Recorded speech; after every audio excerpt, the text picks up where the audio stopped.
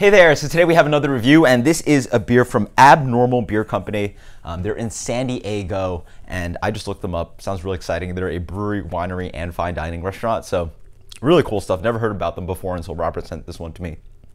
So thank you so much. If you know more about the brewery, please post in the comments below.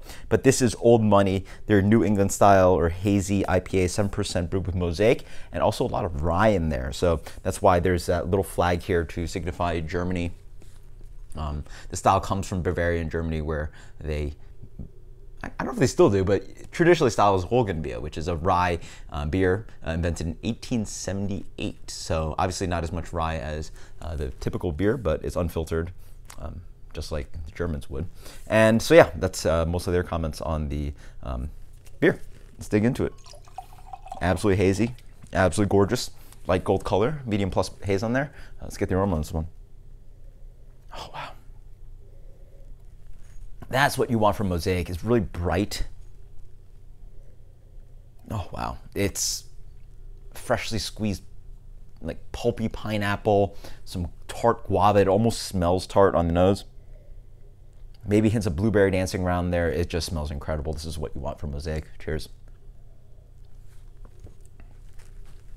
Mm, falls on the palate with that crisp, light fruitiness again. A little bit of um, blueberry candy driving around, hints of tart guava. The pineapple is a little bit more understated. There's maybe a little bit of um, light cracker malt, and then on the back end, the beer is really dry. It like, you know, drives up, uh, dries on palate a, a bit aggressively. It's really nice beer at first, but then they're drying quality, and then you know, it's like hop astringency. I imagine that's the perception I get. I'm getting um, just too much hot matter and everything else left in the beer. It doesn't really look like that because there is a little bit. You can sort of see a little bit of um,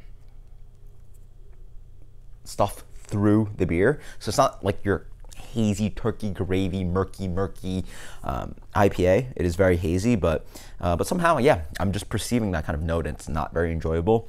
Um, there's definitely things I love about this beer, the aroma and the, the, the flavor profile up front and how um, easy drinking it is for 7%, but something there is not quite right for me. So, ooh, yeah. Um, let's go with an 87 on this one.